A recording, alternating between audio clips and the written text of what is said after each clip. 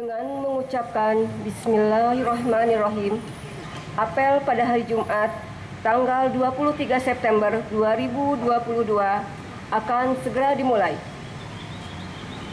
Pembina apel memasuki tempat apel.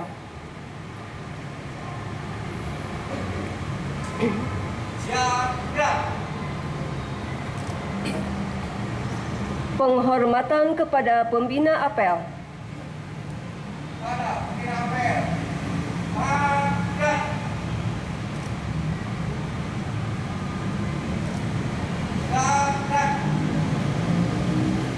Laporan pemimpin apel kepada pembina apel.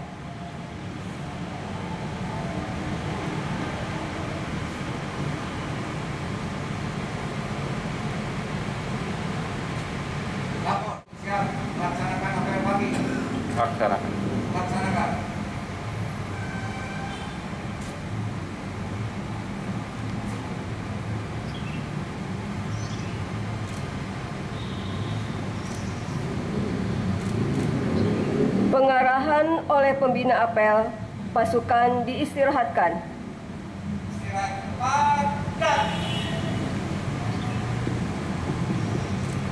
Bismillahirrahmanirrahim. Assalamualaikum warahmatullahi wabarakatuh. Waalaikumsalam warahmatullahi wabarakatuh. Alhamdulillah, salatu wassalamu ala rasulillah.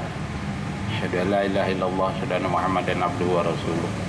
Allahumma salli ala Sayyidina Muhammadin wa alihi wa sahbihi ajmain amma ba'du.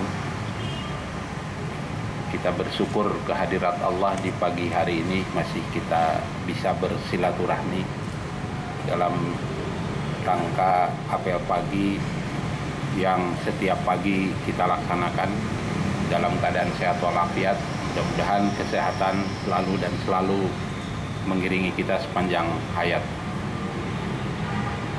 Juga salat salam tak lupa kita sama-sama sampaikan kepada Nabi kita Nabi Muhammad Shallallahu Alaihi Wasallam, keluarga sahabat dan para pengikut.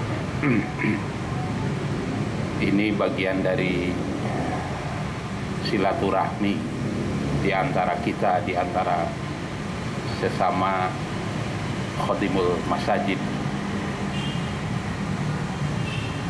Karena kita rasakan kalau tidak ada apel bertemu secara berjamaah itu rasanya sulit. Oleh karenanya itu ini merupakan bagian dari cara untuk di antara kita saling mendekatkan diri atau saling eh, berhubungan. Oleh karenanya itu ini patut kita jaga dan tidak lalu kita tidak semangat. Selanjutnya bahwa kita jangan berpandangan bahwa ini tidak termasuk dari ibadah. Man bana masjidan banallahu al baita fil. Siapa orang yang mendirikan, mencintai, memelihara terhadap masjid itu sama saja dengan tabungan kita akan membuat rumah di surga.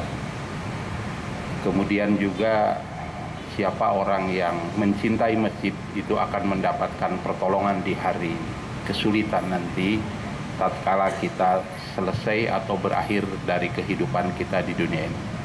Saya menyampaikan satu saat di Masjid Pusda ini akan dihadiri oleh Imam Masjidil Haram.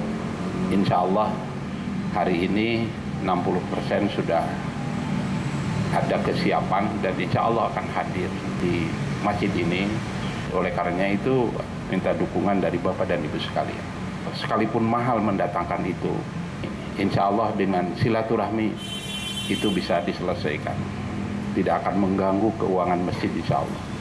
Bapak dan Ibu sekalian, yang kita cari itu adalah ketenangan dalam hidup itu, bukan kesuksesan dunia akhirat dan bersyukur tentang apa yang kita miliki. Dengan cara bersyukur, insya Allah hidup itu akan tenang, akan damai. Banyak orang yang banyak jabatannya tinggi, uangnya banyak, tapi tidak memiliki ketenangan. Apa kunci ketenangan itu? Dikir. Ala bidikrillahi tatma'innul qulub. Itu menurut Al-Quran. Ingat bahwa dengan dikir mengingat Allah maksud dikir itu mengingat Allah tatmainul qulub akan tenang hati Kalau sudah tenang hati, maka pekerjaan akan selesai. Jadi kata kuncinya bagi kita, ya yang kita sering memfasilitasi orang datang ke masjid, tapi kita sendiri ya tidak ada yang memberikan siraman. Nah oleh karena itu setiap pagi Jumat itu sebetulnya nantinya ke sananya itu para pengurus juga akan kita hadirkan untuk memberikan tausiah saling mengingatkan. Untuk apa? Untuk ketenangan hidup. Bahwa hidup itu yang harus kita kejar itu adalah ketenangan kata kuncinya adalah bersyukur. Kita ini harus bersyukur. Kita bersyukur masih diberikan kekuatan diberikan usia diberikan isi isi diberikan suami diberikan anak. Jadi kata kuncinya adalah bersyukur. Kalau kita bersyukur maka akan ada ketenangan dalam hati. Kalau sudah tenang sekali lagi kita tenang menghadapi apa pun. Di rumah kita tenang. Kemudian juga di pekerjaan juga kita tenang